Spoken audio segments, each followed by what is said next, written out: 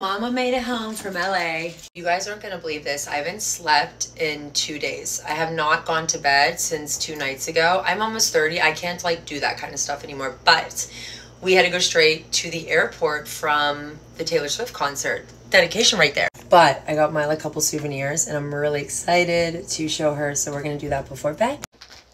Sushi. Your first Taylor bracelet for real quick. So I got her very first bracelet at the concert. So when she goes to her first one, she can trade it. The Taylor Swift era, I got you an Eras. You? Yeah? I think you can wear it to bed. Your first concert tee. All right. You're gonna love this one a lot. Sushi! And it comes out. Do you like it? They had a whole store of those things. I know you like it's this little guy, and it means anytime you hold him, mommy's always there. Go hold that one where you're at daddy's, too.